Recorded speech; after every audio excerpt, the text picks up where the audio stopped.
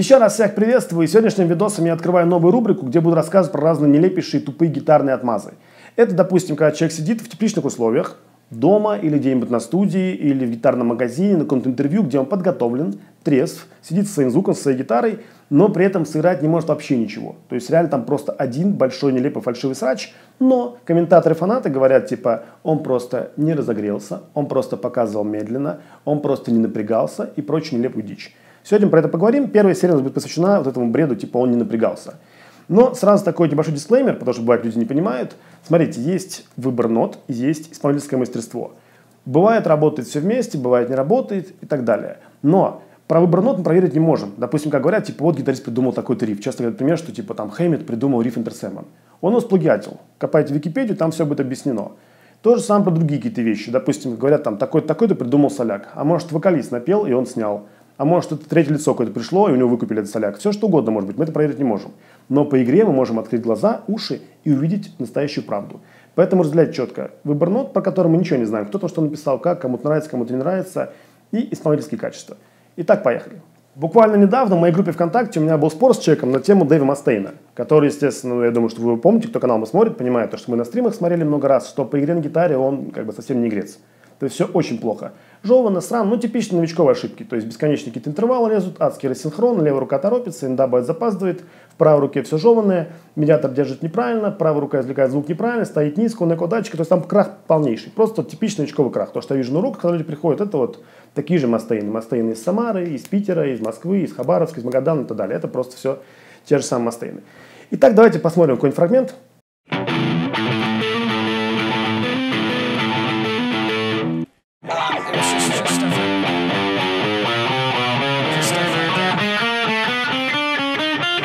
Ну вот, как видите, это не игра на гитаре. Это просто вялое, унизительное, чахлое, жухлое, гнилое серево в уши слушателям. Просто полный крах. Но господин спорщик сказал, типа, слушай, он просто не напрягался, он же, типа, давно играет там и прочее. Господа, чтобы сыграть подобные вещи, типа а всякие там хроматики и прочие штуки, чтобы сыграть это чисто и четко, аккуратно, напрягаться не нужно. Напрягаться нужно, если там какую-то адскую штангу тягать, или может отжиматься на мизинцах, еще что-то такое. Но то, что он там играл, там была какая-то бодяга такого типа, она не требует напряжения. Я, видите, даже на гитару не смотрю. Мне вообще смотреть никуда не нужно. И так далее. То есть с этим все четко и понятно.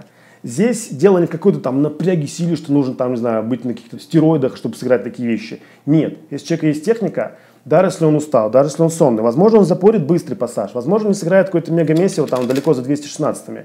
Но вот такую базовую штуку, естественно, человек сыграет всегда, если он находится, ну, как бы, если он не, не адский пьян, а просто в нормальном состоянии, а он там полностью трезв. Может, там слегка какой-нибудь певчанского бахнул, но нет, как бы, все равно это настолько игру в говно не превратит.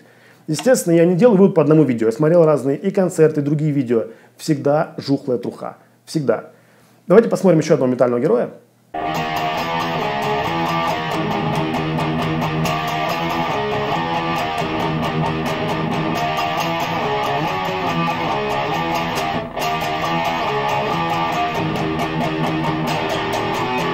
Ну вот то же самое. Здесь не игра на гитаре, а просто какая-то нелепая куриная возня. То есть просто места живого нет.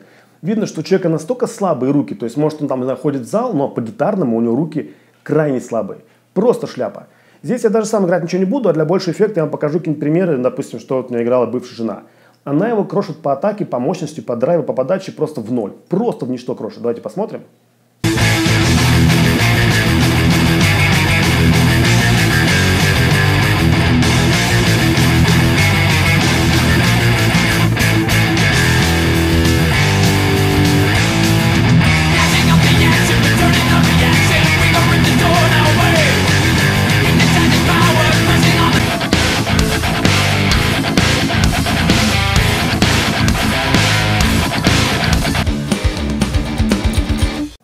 Вы сами все видите и слышите.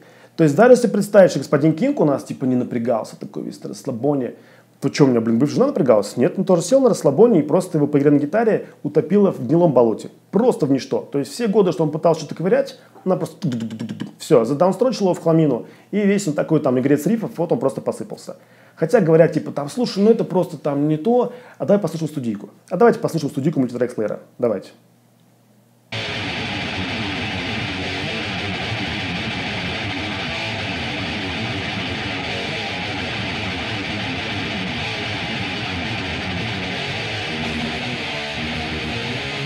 Ну вот, как слышите, это просто нелепая, кривая, чавкающая, жеванная мазня. Это просто как будто новички-школьники пришли на детском утреннике, собрались, гитары повключали, что-то там пожужжали, их записали, они просто разбежались. Это просто кривой крах, просто ужас.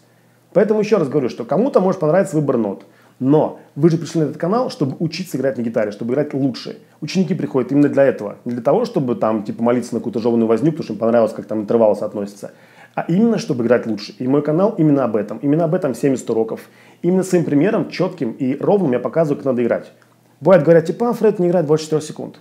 Господа, у меня плейлист, playthrough, там, по-моему, 13 песен или 14 сыгранных честно. Я потом сниму отдельный видос, я записываю, по-моему, где-то уже показывал, но тем не менее, можно будет снова повторить.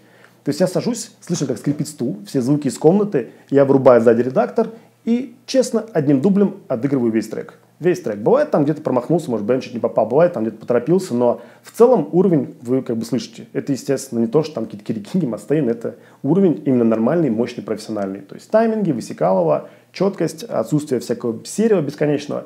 Где-то у меня там был какой-то маленький пук, по перед соло, последним плейтру, там у меня проскочила такая фишечка. Но как бы это, можно сказать, почти все, как бы весь срач за 13 треков. Поэтому вот как-то так. В общем, смотрите обязательно уроки, подписывайтесь на канал. Помните, что здесь только правда. Часто она бывает для многих горькая, но здесь только правда игре на гитаре. Всем удачи пока.